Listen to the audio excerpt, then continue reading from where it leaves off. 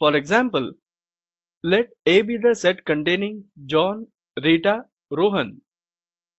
B be the set containing orange, apple, cherry, pear, banana. Then the relation can be given as Diagrammatically, it can be represented by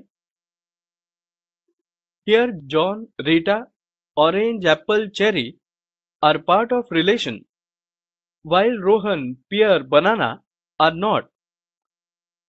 The set of all elements of A which are related to the elements of B is called the domain of relation and the set of all the elements of B to which the elements of A are related is called the range of relation.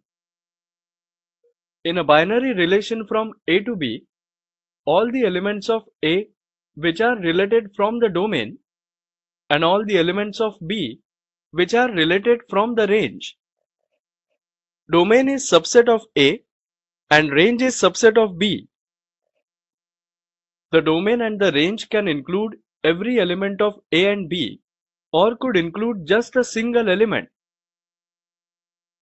domain, range, and codomain can mathematically be represented as the set of all the first components of the ordered pairs in a relation R is called the domain of the relation R. Domain R is set of all the elements A such that A, B belong to R.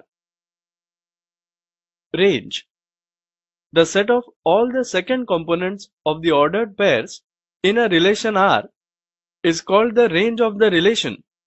That is, range R is equal to set of B such that A, B belong to R. Codomain If R is a relation from A to B, then set B is called the codomain of the relation R. And we see that range is a subset of codomain.